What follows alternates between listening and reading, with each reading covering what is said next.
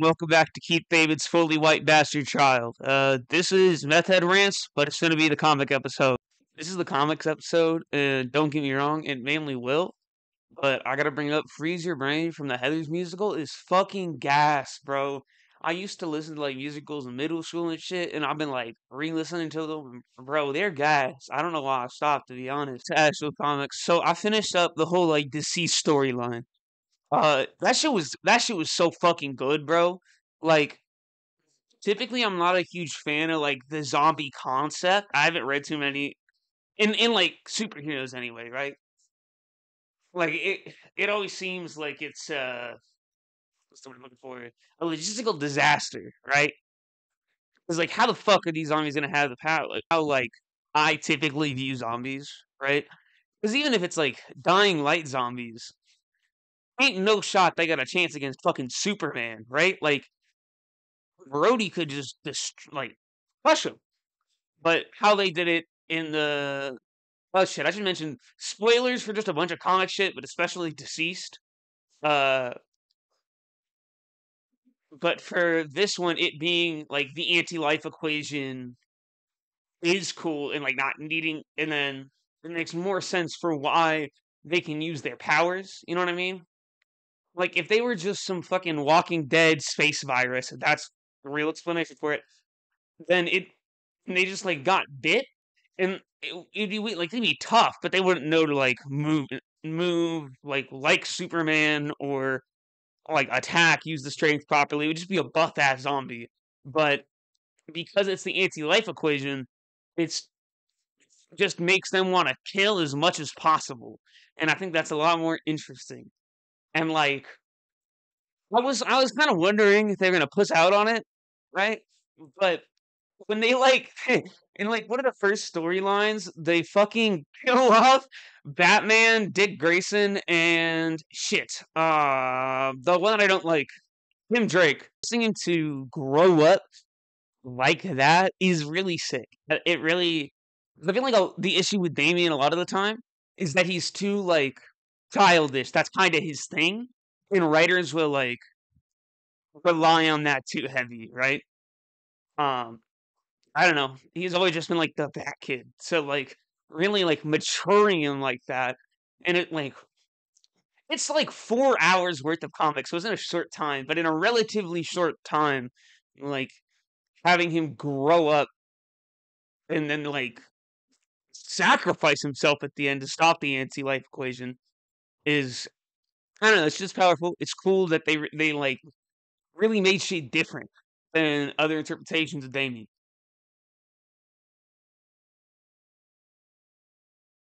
And like I guess to a similar extent, they did the same thing with John, Superman's son. I'm gonna refer to him as John because I'm not sure I remember his name.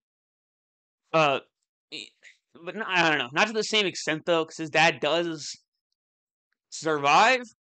Like he's thought to be effectively dead for a while, then they like brought him back, and he also had his mother. Uh, and well, I guess t- Damian did technically have Talia. It really wasn't the same because like he was could not see her or like talk to her all that much because it's Talia al Ghul. You know what I mean? I'm probably saying that wrong too, but fuck it. And uh, like zombie Wonder Woman speeches were went crazy for no fucking reason at all. Like it, they were they were fucking good, bro. Like when she like when uh Superman not Superman Cyborg puts the lasso of truth on her as just the uh the rest of the people are leaving Earth to survive, and she's she goes on the whole speech about how he was the cure and he failed them, and then she rips his fucking head off and chucks it. That shit was sick.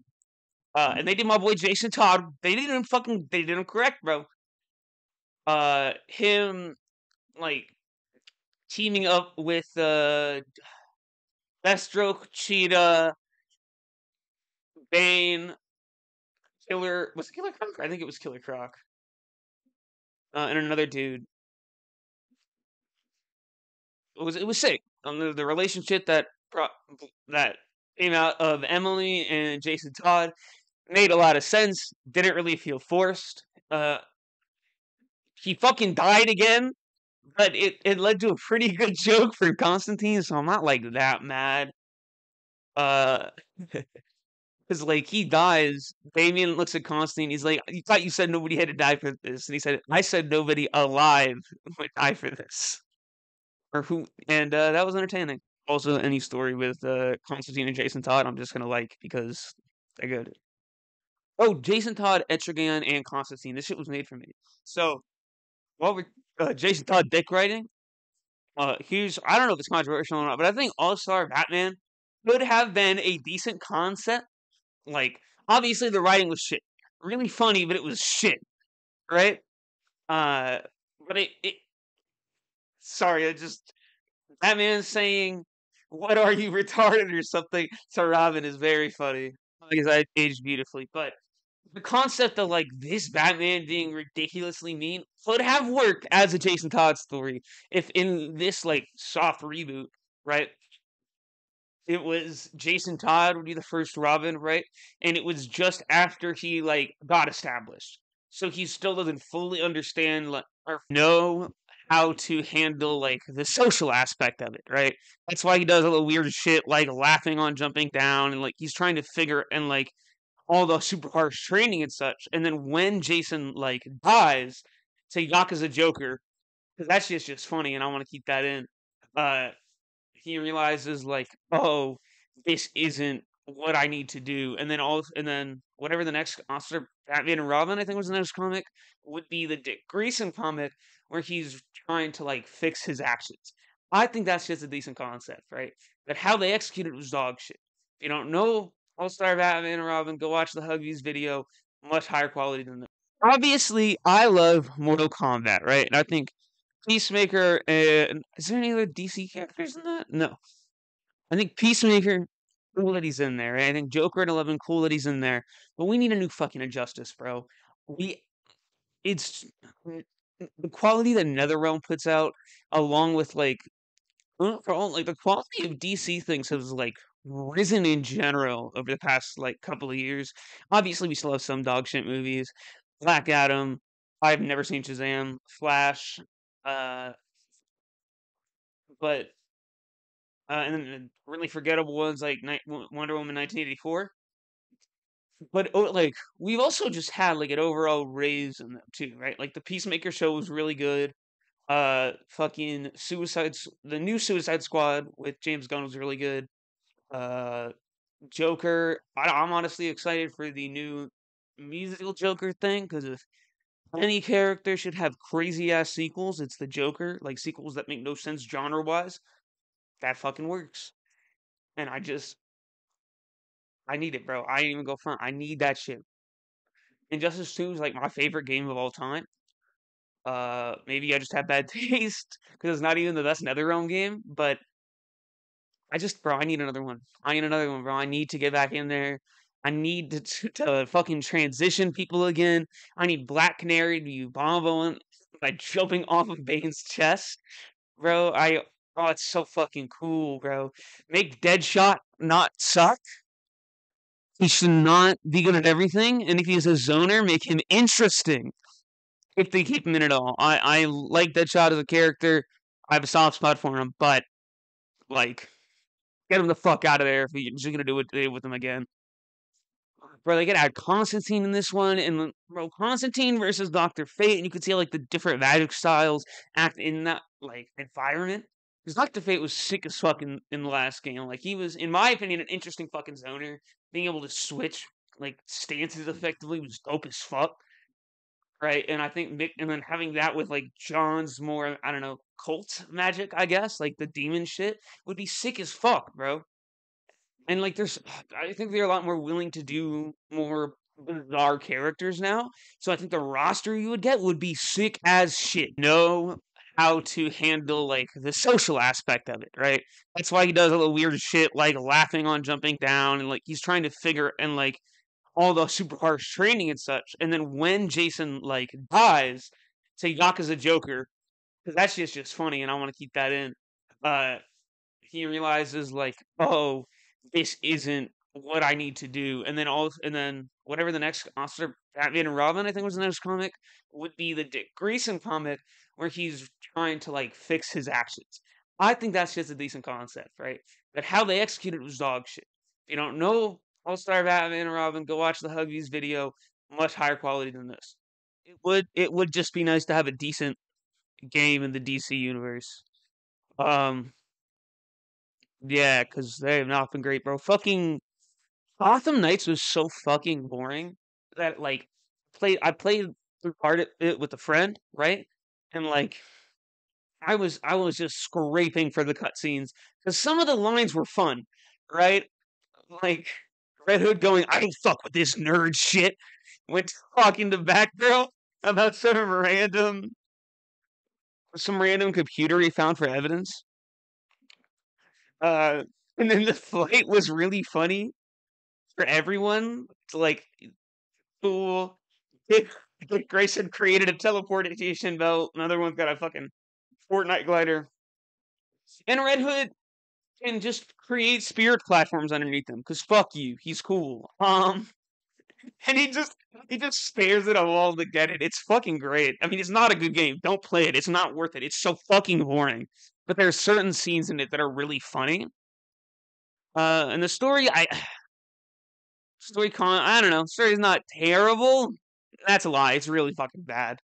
It's really fucking bad. But it's it's it, the story can be entertaining. I recommend watching some of the cutscenes. Like Harley Quinn is a fucking Twitch streamer. Oh, I peeked the mic with that one. My fault. Were they trying to copy that one character in Spider Man that uh, in the Spider Man PS4 game where she, yeah, where she has like do this for the live stream, fight these. Is that what they were trying to copy from that? They were like, but if that's what they were trying to copy, why would you take that aspect from PS Spider Man PS4? You know what I mean? Like, it's just I don't know. It's weird. Comics, and you thought I'd be talking about Marvel. Uh, I'm really not. I don't know, bro. Uh, I'm just an edgy fuck, I guess. So I prefer DC comics overall, like for the characters, the stories, and shit. Um, and that's, and I'm not even like talking about the movies. The movies recently have been like fucking dog shit. Um, some of them had good action, but overall, it's just they're just boring, bro. Mm-mm. Some of them have had decent. Some of them are decent just because of like the directing is good and the visuals are nice, but they're not like great movies. Most of them aren't even good movies or fun enough to watch, really. Uh, but like I said, I might just be an edgy fuck, and I get that. If you enjoy him, fucking great, bro. Just not my thing. I fucking lied. I have to talk about Elsa Bloodstone, like the best, the best Marvel character. Uh, she's the daughter of the old Bloodstone, who was like this like super strong caveman type dude, and um, she moves into a his castle and meets with uh Frankenstein and someone else who has their like monsters, and they help her like learn how to fight. And she eventually, like, her weapon of choice is two M1. She's dual wielding M1 Garands, and she has this red gem in her chest that gives her like super strength, more durable skin. She's faster, she's more agile. And then she just gets super confident super quick to the point where like it's here at her first like superhero team, and she's jumping into she jumped into Fin Fang Foom's mouth with her jump yeah, with two M1 Garands shooting at his eyes to distract them. Right? Or no, she jumped off a building shooting at him. Her partner jumped in his mouth with a chainsaw and cut him up from the inside. That's what it was. But still, she jumped off a fucking building, shooting at Fin Fang Foom with cool wielding one grands, bro. I just it was gas. It's she's fucking great. That's that's Marvel. See, no, I wouldn't watch it. I'm not gonna lie. I wouldn't watch that series on Disney Plus because it would probably not be good. Um, but her comics are gas. This is post I'll get flashing. Uh, I got this shit, and I think it's really fucking cool. It's a collection of Junji Ito stories. It's got fucking uh used record. Holy shit, I can't read for shit. Shiver, fashion model, hanging blimp, marionette mansion, painter, long dream, honored ancestors, greased, and the fashion model in the cursed frame, previously unreleased. Tight as fuck. I think this shit's sick. And then I don't know if we talked about this before, but my my uh my girl got me the Twisted Visions shit, which is just like Junji Ito art book, right? I think it's real cool. Junji Ito's one of my favorite horror authors, and I guess illustrators too. So that's just tight. And fuck you, I have it, I and you don't. That's what fucks niggas, right? It's technically manga, but like I see them as the same, like the same media as comic books. Just like I see, and just like it, to me, anime is just TV, right?